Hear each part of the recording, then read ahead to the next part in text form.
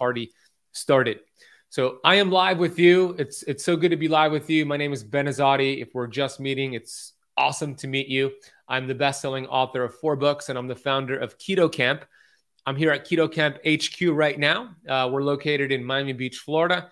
Our mission here at Keto Kamp is to educate, to inspire you, to inspire 1 billion people to reverse metabolic disease like type 2 diabetes, insulin resistance, cancer, autoimmune disease. It's a big problem, but we got the solution. And it's a very powerful solution that we're going to talk about today. Gail, good to see you.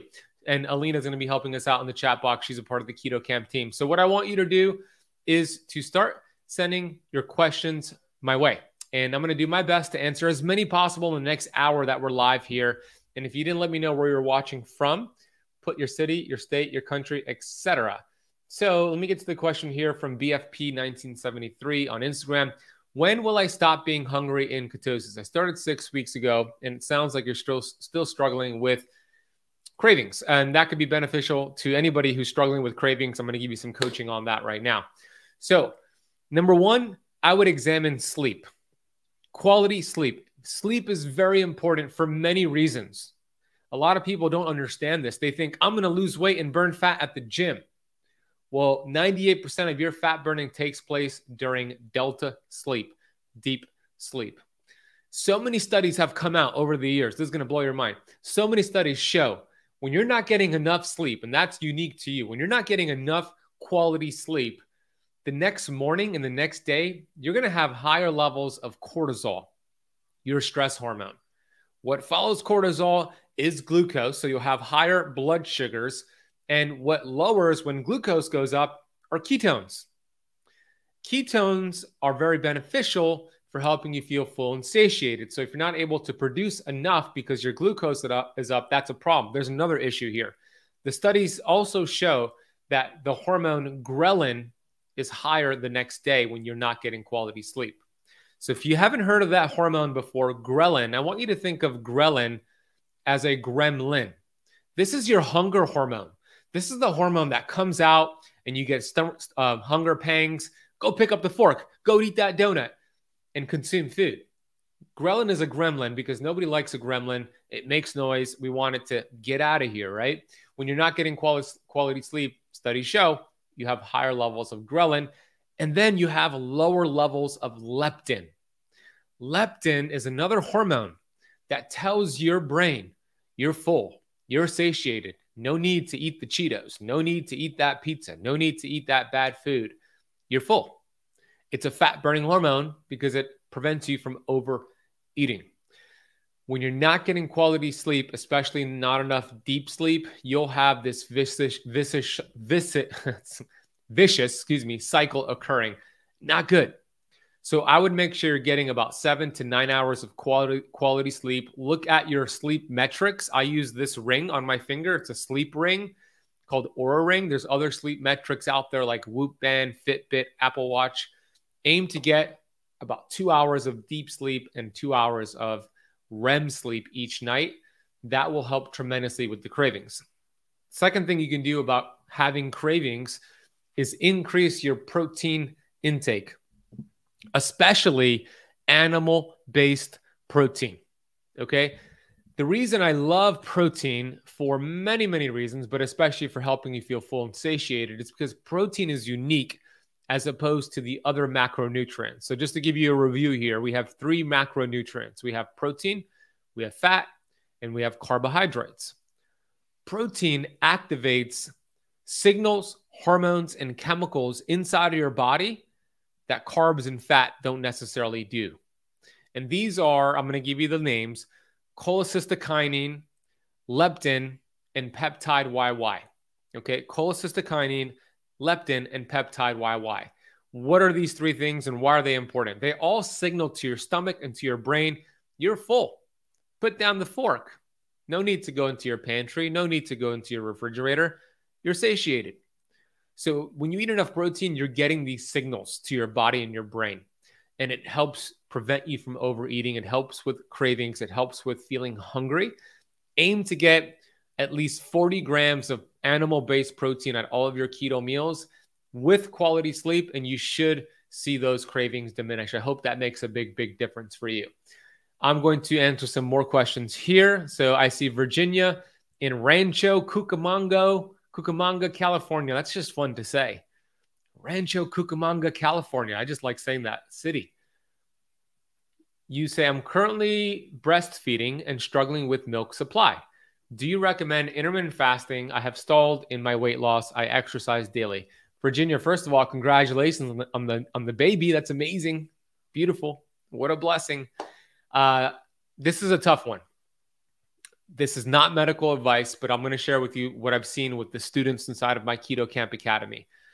If you're breastfeeding, it's not typically recommended to do keto or to do intermittent fasting because what could happen with what you just said, Virginia, you might lose your milk supply for the baby. Therefore, I would not suggest or recommend, again, this is not medical advice, doing intermittent fasting or doing keto if you're breastfeeding or even pregnant. It's probably not a good idea.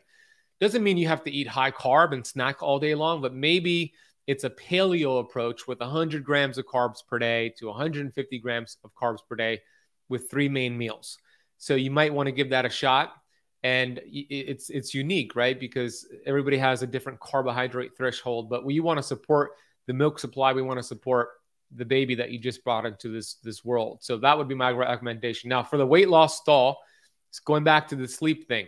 98% of your fat burning hormones are activated during delta sleep.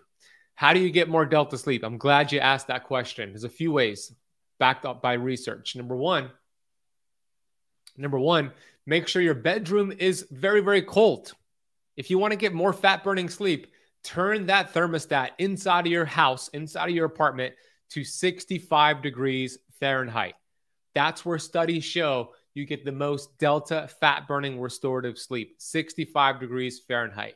Number two, make that bedroom as dark as possible. You could either put out put up blackout curtains or you could wear a sleep mask. Number three, you might want to consider something called a chili pad. I'm a big fan of chili pad technology. If you don't know what that is, I've interviewed Tara Youngblood on my Keto Kamp podcast. Go listen to that.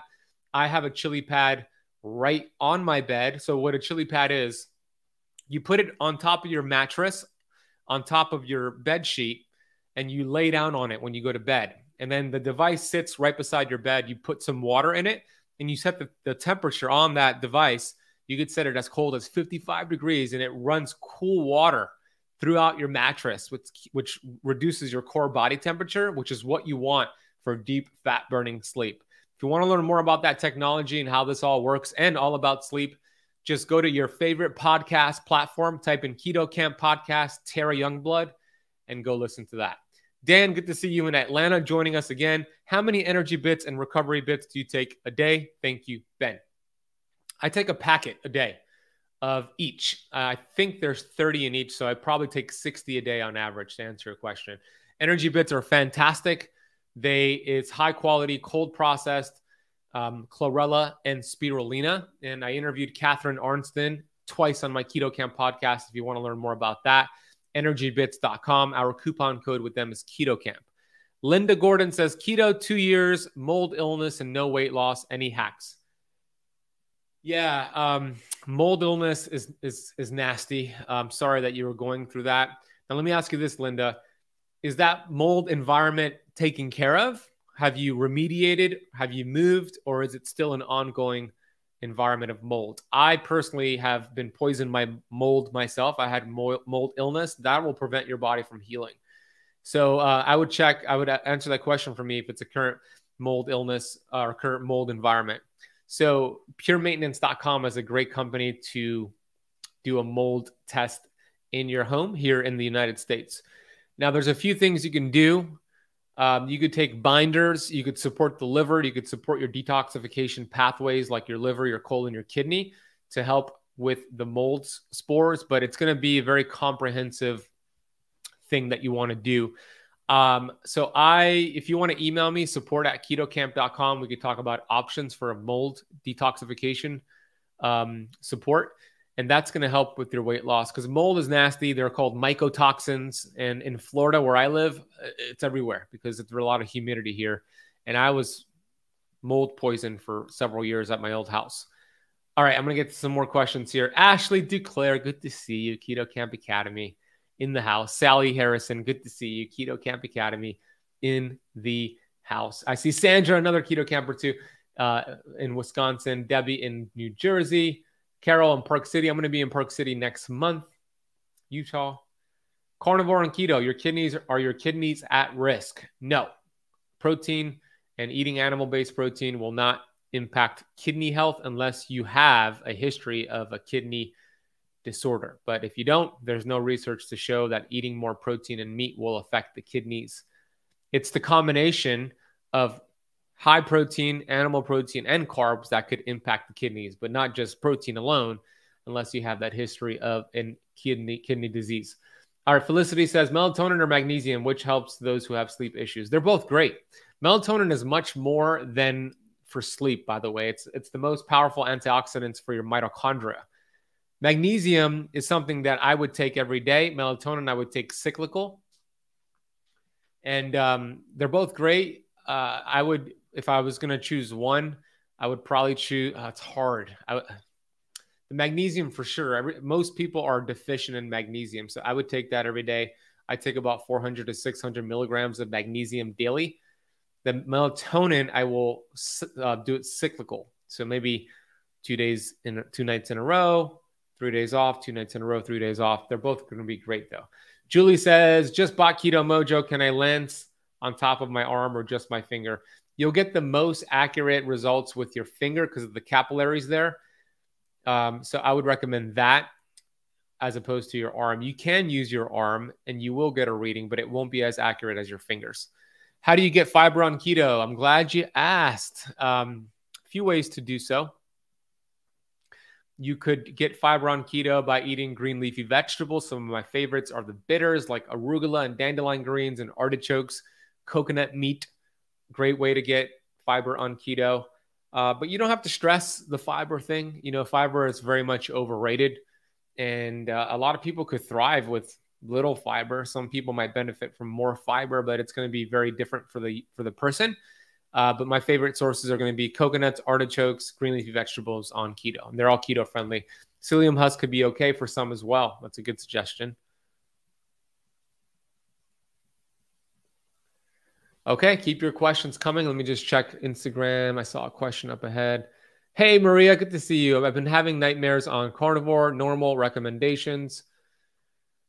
Um, usually, nightmares are a result of the hours leading up to sleep, somebody watched a scary movie or watched the news or watched something negative on social media, that usually translates to nightmares. Now, what you can do, maybe that's not you, I don't know, but what you can do is gratitude journaling and reading a book before bed. That should mitigate that. So, really be intentional with the 30 to 60 minutes before you go to sleep with filling your subconscious mind with positive amazing information, and that should do the trick. I don't think it's the carnivore doing it. I think it's something else. Ali says keto and high cholesterol. Thoughts? I got a lot of thoughts on that. You might have heard me say this before. I'm going to say it again. Total cholesterol, total cholesterol does not mean a damn thing. What's up, Darren? And as a matter of fact, more people die from heart disease with normal to low cholesterol than with high cholesterol. It's much, much more than just total cholesterol. Yeah, your total cholesterol might go up with keto. Your LDL might go up with keto, but you know what else will happen? Your HDL goes up too, which is very protective, and your triglycerides drop because you're burning fat. And your inflammatory markers improve because you're using ketones. So I would explore the full picture here. On my YouTube channel, Ali, if you go to youtube.com and type in keto kamp cholesterol, I have a ton of videos on this. I even go over example lab reports to give you an idea of optimal ranges. Something that I also like to look at when it comes to your cholesterol panel, your lipid panel, getting your triglyceride to HDL ratio.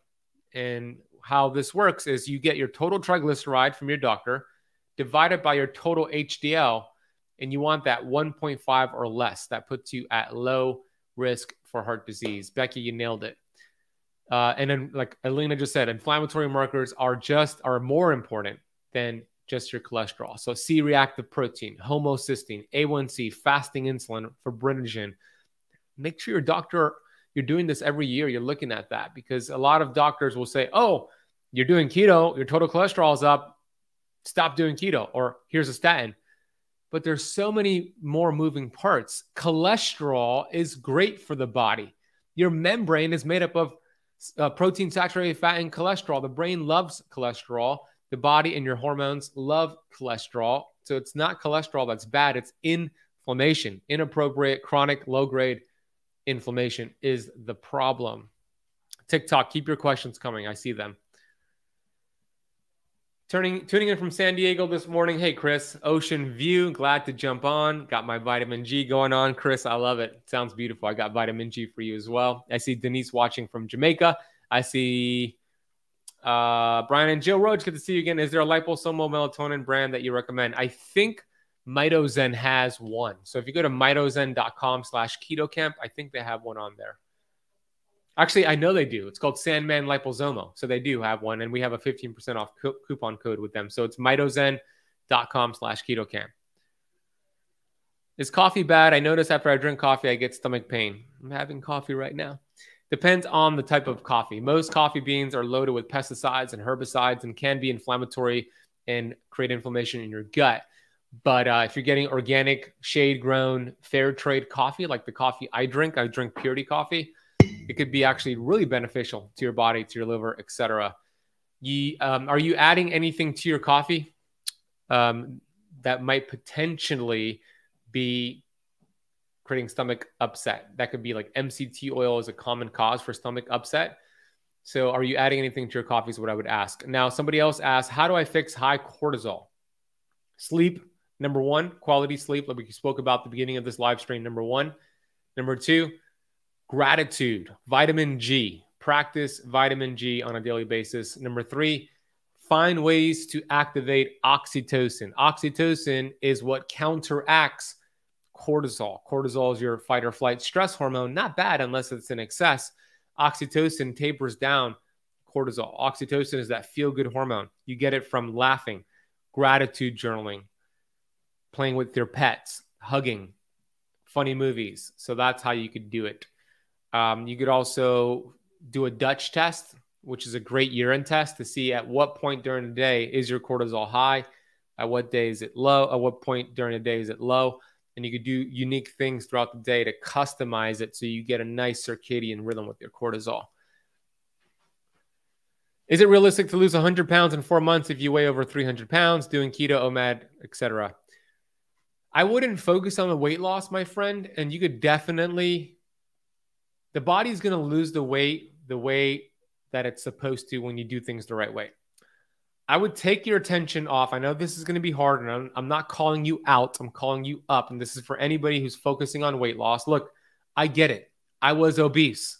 I weighed 250 pounds. I understand having a weight loss goal is important. I get that. But the body does not lose weight to get healthy. The body gets healthy to get rid of that weight. You reduce cellular inflammation, a side effect, the weight comes off. Because, my friend, you weigh over 300 pounds, you don't have a weight problem. I weighed 250 pounds 10, 12 years ago. I didn't have a weight problem. And as a matter of fact, here's the secret there's not one person in the history of this world who has ever had a weight problem. It is a weight symptom. The real problem are hormones and inflammation. So I would focus on ways to reduce cellular membrane inflammation. Keto, fasting, sleep, gratitude, grounding, right? Darren said grounding. Grounding is another vitamin G. If you don't know what grounding is, very simple to do and simple not to do. That's why a lot of people don't do it. You walk barefoot on planet Earth, like our ancestors did for so long either on grass or sand or dirt. When you walk barefoot, you get this electrical discharge where your body, it's like taking a handful of antioxidants. I'm standing on a mat right now called a PEMF mat, which is giving me grounding as I stand in my apartment here because it's hard to ground in an apartment or a house. So by I bypass that by standing on a PEMF mat. But you could just go outside. You don't have to buy a mat. Go outside and just walk barefoot. Becky does it all the time 30 to 60 minutes a day, lower inflammation. There's so many things, and it's free 100% free. So many things we can do that are free. I'm going to share something with you that's going to blow your mind. If you're ready for me to share some research with you right now that's going to blow your mind, let me know in the chat box by saying, I'm ready, Ben. You ready for this? Now, I'm going to share some slides on YouTube and Facebook. If you're watching on Instagram and TikTok, you won't be able to see the slides, but I'll explain it in a way that you could understand what I'm about to share. It's going to blow your mind right now. So if you're ready for me to share this, say, I'm ready, Ben. Share it with me. There's a book.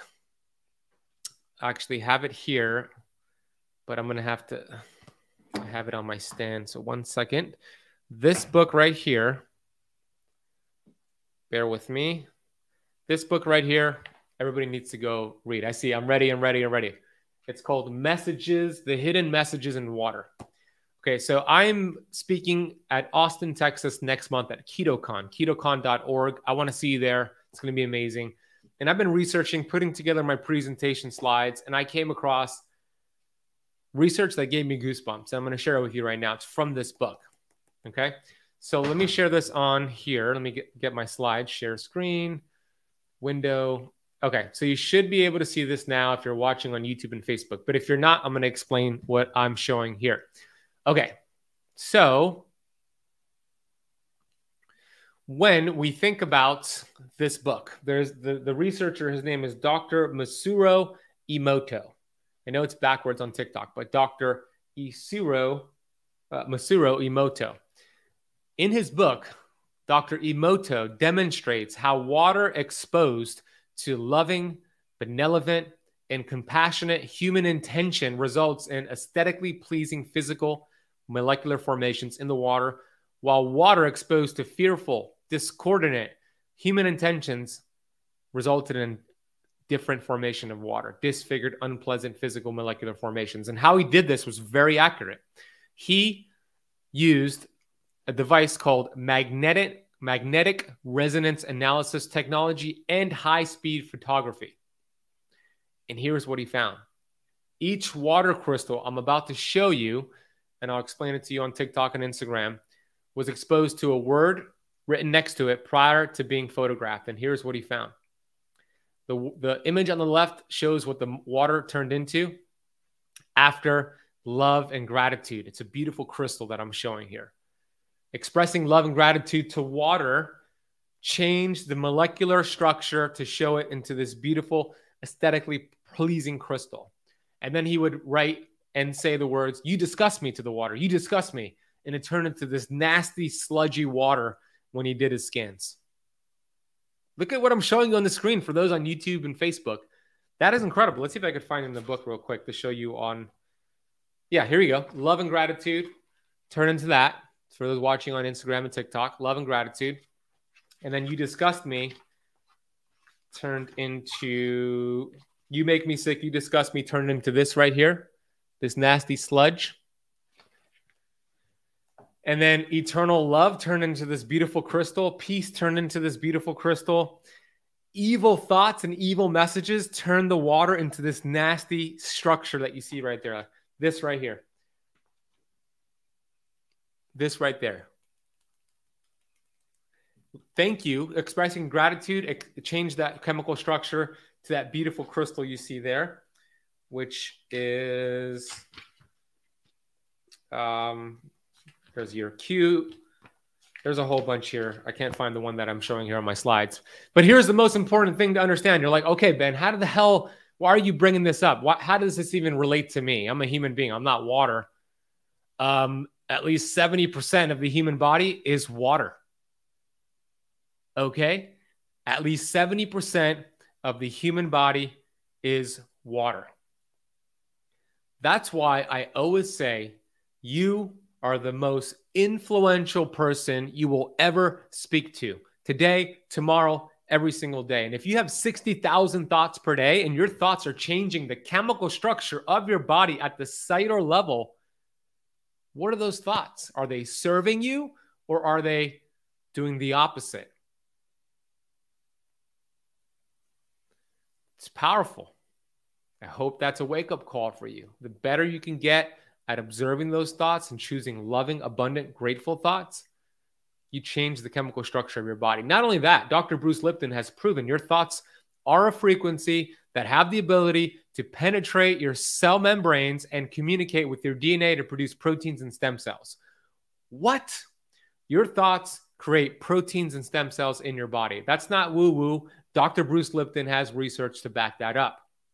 And he has shown if it's a negative thought, what I call a stinking thinking thought, that creates um, inflammatory proteins and inflammatory response by the body. But if it's a loving, grateful, abundant thought, vitamin G, that creates anti inflammatory proteins and stem cells from your body. 60,000 thoughts per day means you have 60,000 opportunities every single day to put your body in an anti inflammatory healing state. You have the power. The greatest power you have as a human being is your ability to think and originate thoughts. But if your thinking is stinking, your dreams are shrinking. So I could tell you how to do keto perfectly, how to keto flex, the best intermittent fasting schedule, the best workouts, how to enhance your sleep. But if you're not working on that mental six pack, you're not going to get the results you want. This is something we dive deep into every day inside of the Keto Kamp Academy, which is my online membership. I'm going to go deep into it when I speak at KetoCon next month in Austin, Texas. So I would love to see you there and give you a hug and have you watch my keynote lecture at KetoCon. You can learn more about that conference over at ketocon.org. We have a coupon code KetoKamp for you to get 20% off your tickets. And I see all of your comments saying, wow, that's amazing. It works. Thank you. I firmly believe this. Telling you, it's insane. I'll answer some more questions here for you. Summer, I know you know all about that.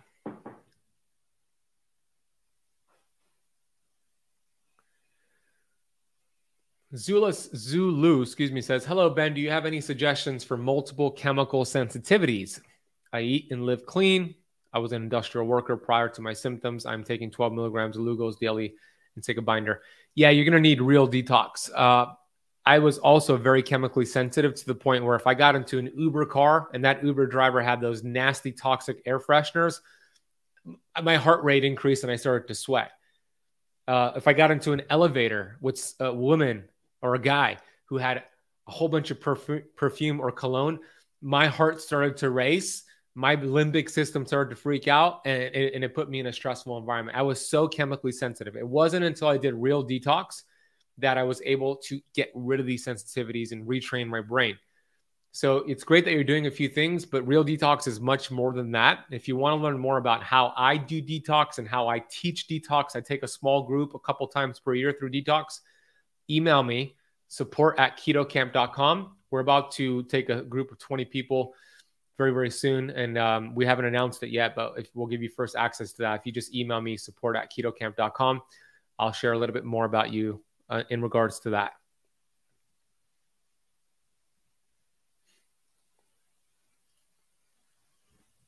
Ben, we believe it. We put our mineral water in the sun first thing in the morning and speak affirmations and gratitude for it for 20 minutes every morning. Physically, we have changed in a dramatic way. That's so beautiful, Brian and Jill. Amazing. Which book should I start with if I'm done fasting and keto without success on my own?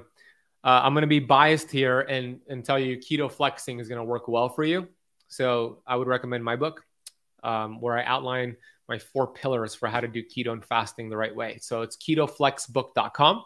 It's available on Kindle, paperback, and Audible. I'm the one who read the narrated the Audible. How many days of fasting is ideal? If you're doing intermittent fasting every day, and 18.6 is a pretty good schedule. 18 hours fasted, six hours eating window. If you're thinking about like a block fast, which is three or more days, uh, once a quarter for most people could get away with that with great benefits. I gave you a, gr- a long, great answer uh, about hunger and keto. Um, so you missed it, unfortunately. So you can watch the replay on my YouTube channel because I gave you like a five minute answer on that. It was a great answer, I believe. uh, thank you. Very interested. I'll be in contact. Awesome. Yeah, Summer just did my detox program. She made tremendous, tremendous results with it. I'm just looking at some questions here. What's your opinion on DIM supplementation? There's a time and place for it, but if somebody has estrogen dominance, DIM supplementation could help. But if somebody has low estrogen, DIM can make them feel worse. So what do you do? You got to do a Dutch test to see where your estrogen is at. Dutch test is a urine test. It's fantastic.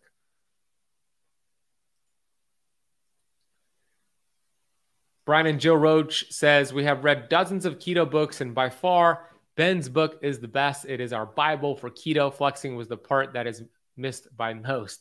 So appreciate you. Thank you so much.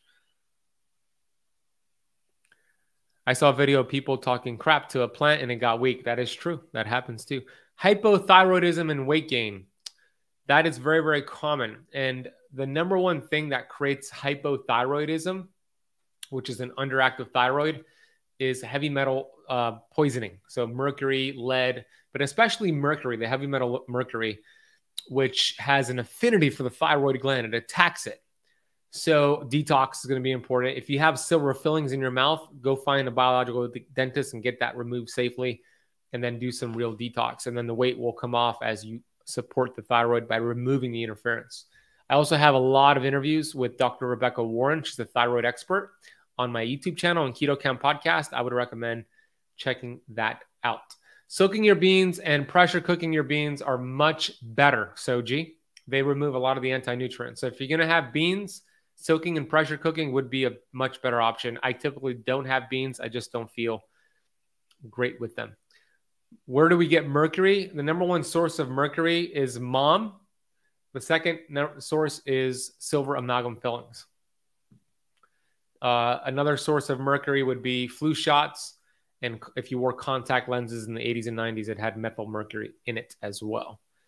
Does detox help the gallbladder? Doctor wants to remove mine.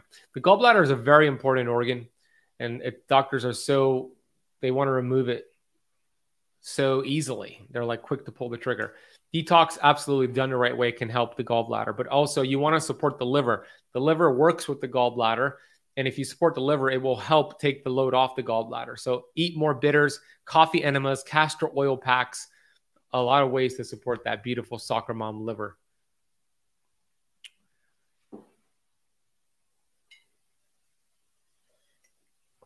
Felicity, email me. I'd love to give you more details on the detox plan. Uh, support at ketokamp.com. Camp is spelled with K.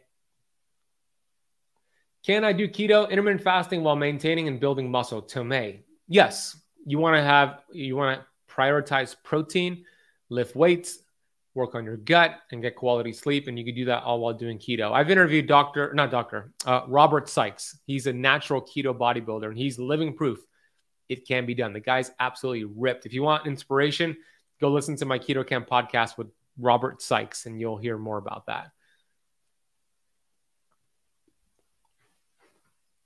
I'll answer a few more questions, so keep them coming uh, where was it? YouTube. I am who I am says craving serious sugar addict. What can I do? I never get past withdrawal, sleeping only two to three nights, two to three hours a night. I would work with somebody. If you have a real sugar addiction, eh, I would find some people to work with. So here's what I would recommend. I'm not a sugar addiction specialist and I don't claim to be one. And some people need to work with a specialist. So I will point you in the direction of the individuals I've interviewed that are experts. So if you go to youtube.com which you're on right now. I see you on the live stream. And then type in the search bar Keto Kamp Sugar Addiction. Watch my interviews with Dr. Joan Ifland, Bitten Jonsson, Richard Johnson, David Wolf, and a few other experts. And then whoever resonates with you out of the people I've interviewed, reach out to them and work with them, and they will get you on the right track. Is breaking a fast? Am I breaking a fast with supplements? Not, you're not, but I always say it's better to have your supplements during your eating window, especially those that contain herbs and fat soluble vitamins. Uh, you might lose some digestive benefits by taking the supplements during a fast, but I wouldn't say you're breaking a fast.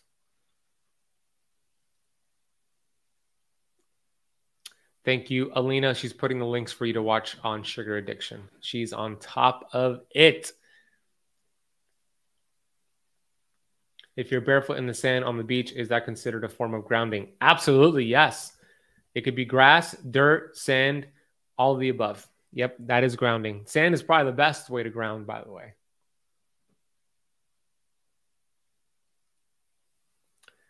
I will answer a few questions here. Are silver caps the same thing as silver fillings?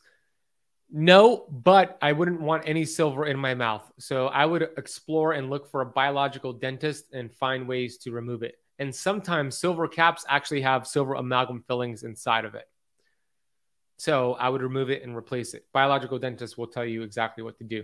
James, good to see you on here. My friend, Super Camper here on YouTube. 36 hour fast weekly or a longer fast monthly, which is better?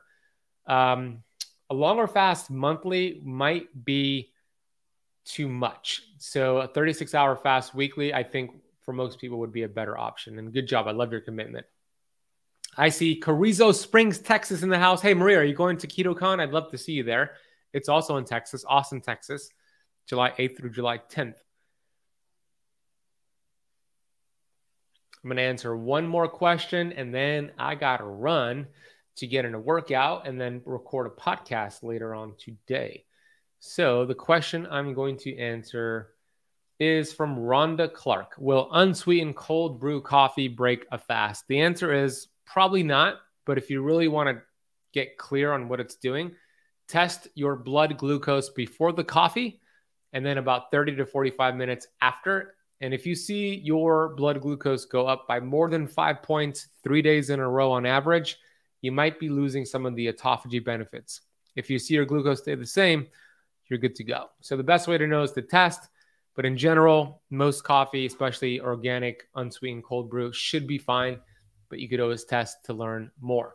I hope this was helpful. You know, I'm live with you every Wednesday, 12 p.m. Eastern time. So put a reminder in your calendar to join me next week. If you want to watch the replay on this because you missed some of it, that could be found on my YouTube channel, youtube.com slash keto kamp. Go subscribe to the Keto Kamp podcast. We release brand new episodes every Monday, every Friday, and sometimes on Wednesdays. We just released one today as well. And we have a great one coming out Friday. So I want to say thank you. I got a lot of vitamin G for you. I hope to see you at KetoCon in Austin, Texas next month. Have a great, blessed day.